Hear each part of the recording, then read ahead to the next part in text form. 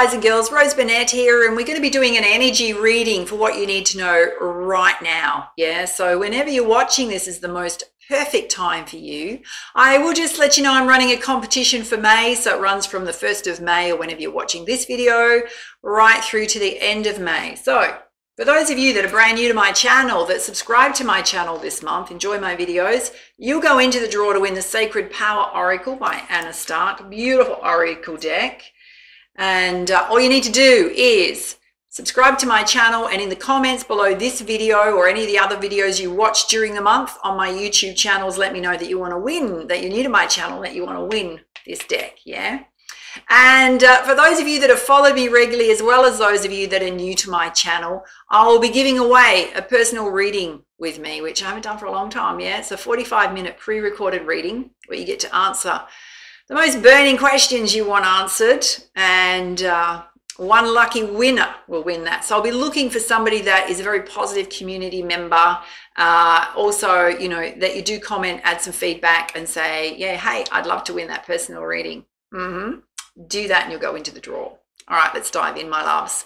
And if you want to invest in yourself, I will just let you know that you can get my bonus readings in the members area. All you have to do is uh, hit that join button below this video or on my channel. And you can get four bonus readings from me every month for just $4.95. You get a love reading, you get a life purpose reading, and two energy readings in the second half of the month.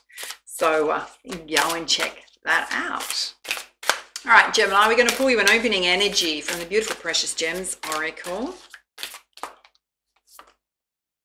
Oh, you pull Atlantisite. Look at the colors on that. It's all about emotional purity. Number six can represent love and abundance. So it's very much about you cleansing your emotional waters, letting go of anything that no longer serves you, anything that holds you back in life. It's time to clear those past energies to allow yourself to open up to the new, to fresh possibilities, new opportunities, looking at things in a different perspective, more in a more positive and open light. All right, let's pull you some guidance from the uh, beautiful Star Temple Oracle. Yeah, wow. This is almost word for word what I just said. You pulled Father of the Sky, which is all about God, the God presence. Yeah, I release the weight of the world from my shoulders. Absolutely a need to release Gemini, things that have gone in the past. Yeah, they've gone. Mm-hmm. All right, what we're going to do next is pull you some oracle messages, and then we're going to read the energies. So first up, we're going to pull you some from the Sacred Destiny Oracle. Mm. It's kind of mirroring what came through in your May 2023 monthly reading. So go and check that out if you haven't already watched it. Mm. Oh, wow. Okay. Clear message, please, for Gemini. Thank you. Oh, darlings, wait till you see it.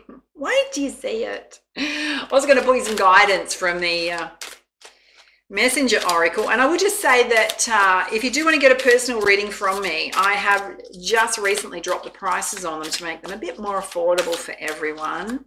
Uh, so basically answer the questions you'd most like answered, includes an Akashic record check, deeply transformational and healing. So I'll put the booking link and info on here and down below. Mm, okay. Yep. Look, we've got a lot of animal spirit guides coming out for you. I'll pull you an extra one there. Okay. I'm just going to pull some guidance from the Nature's Whispers Oracle.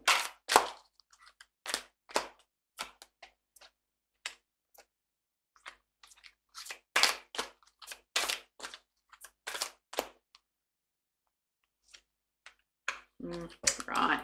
Well, these make a lot of sense, my loves. So there's a need for you to take some quiet time in solitude by himself rowing a boat on a lake at night time, which probably wouldn't recommend that, my loves, but it's just the concept of it in the moonlight. But it's finding that place of tranquility.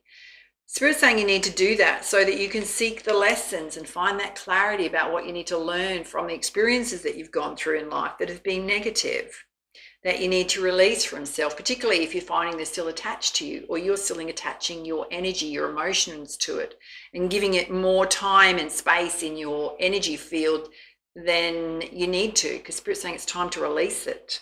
Yeah, you need to learn the lessons so don't repeat them going forward. You're going through this beautiful transformation. You've got the butterfly here. So coming out of the caterpillar cocoon and into the butterfly, stepping into the light embracing all aspects of self, more happiness, more joy wants to happen in your life. And you have the lion here, which is all about courage and strength, relying on your courage and strength. To do the healing you need, it's only release. I'm not saying there's a lot of healing you need to do. You need to release, my darlings. So you can just release burdens from self. Because you're healing chaos. There's a big tornado here, but out of the chaos is all these butterflies, right? This new beginning, this transformation. Uh, Spirit's saying there's a need for you to be vigilant with people around you, the energy around you. Now, this came through strongly in your May reading. So if you've not watched that, please go and watch it. There's someone that's in your friendship circle or family that I'm not going to say it could be community, but it seems to be somebody that knows you well enough to project their energy at you, um, particularly around these changes that you're going through. Because uh, you've got the horse, so lots of animal spirit guides coming through for you um, which is stepping into your personal power. Do you allow others to ride on your back and tell you what to do, or do you take the reins of your own life? Mm-hmm. When you do, when you do this, you got major blessings coming into your life. You're opening up your flows to your abundance, to joy, to happiness, to light, to love. But you need to embrace the shadow side of self. Stop pushing stuff down that you've been trying to bury for a long time. It needs to come to the surface to be cleansed and healed. And you got the message from spirit to make a wish. What do you what do you want your life to look like? What blessings do you want to come to you? Put it out there to the universe.